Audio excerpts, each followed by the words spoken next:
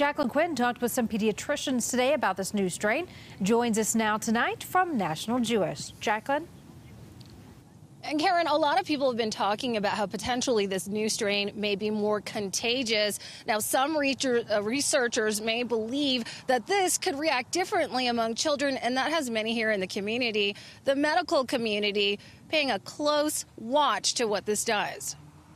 At the ER in northern Colorado, doctors like Noah Kaufman have been studying the new strain. We know that there's been mutations to the spike protein, which is how this virus gets into the cells, you know. Most of his COVID patients are adults. I see a couple few COVID patients every day. He doesn't know if the new strain will send in younger patients, but he says medical staff are prepared.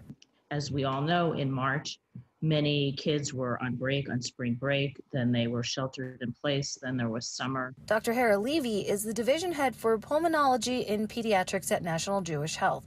She's worried for a couple of reasons. So we know that the transmission rate is higher and that you need and it does have a higher viral load. So the concern would be with the higher viral load that there could be worse symptoms. But researchers just don't know yet. I think it also speaks to the fact that the kids really need to be considered to be moved up in the line for the vaccination. Depending on the vaccines available, the age cutoff is either 16 or 18 years old we uh, have uh, developed specialized COVID care clinics for pediatrics. We have a pediatric acute COVID care clinic. National Jewish is not aware of any patients with the new strain, but are standing by if it shows up.